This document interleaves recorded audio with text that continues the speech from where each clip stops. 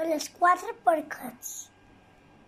Hi havia una vegada quatre porquets que feien un grup de música. Eren els més famosos dels personatges dels contes, però en el llop no li agradaven. I les volia menjar. Quan varen ser grans, varen decidir que, que ja no serien músics, per, per, perquè se varen fer una caseta. El porca més petit se va fer sa casa de paia. El segon se va fer de fusta. El tercer porquet va anar a la ciutat, se va fer una casa de maons. El porquet gran se va anar a visitar a tot el món.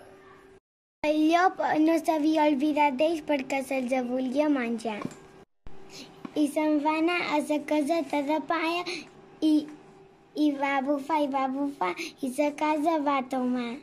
I el llop se'n va anar a la caseta de fusta i va bufar i va bufar i la casa va tomar.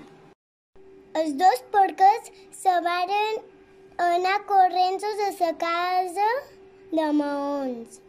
I llop les va perseguir fins que el va trobar. Va bufar, va bufar, però la casa no se va tomar.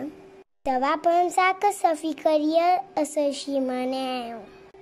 Els porquets, que eren molt vius, varen posar una olla calenta damunt el foc. Llop, quan se, quan se va ficar a dins la ximenea, se va cremar el cull. Como el no podia menjar el portet, ya, ya habían dado a, a, a buscar ayuda de sus amigos. Tres llops també havien fet un grup de música, per, però ningú els volia. Varen comprar una excavadora per tomar la casa de maons i li varen començar a pegar tocs la varen tomar. Porquet, I els porquets estaven tan assustats que varen cridar el seu germà Rodamont.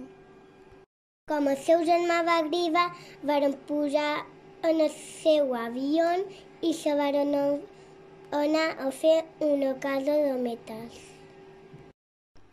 Els tres llops no se varen donar per vençuts i varen intentar de tomar la caseta de metall. I varen començar a pegar cops i cops i cops fins que la casa se va bonyegar. I els i els tres porquets se varen assustar molt i varen tenir idea de cridar la caputxeta forçuda. Quan va veu la caputxeta forçuda, van assustar tant que va sortir codensos. Els quatre porquets estan tan contents que van fer un corxet per la caputxeta. Per això, des d'aquell dia se riu. Tanta és el mal empantant. Conte contat, conte acabat.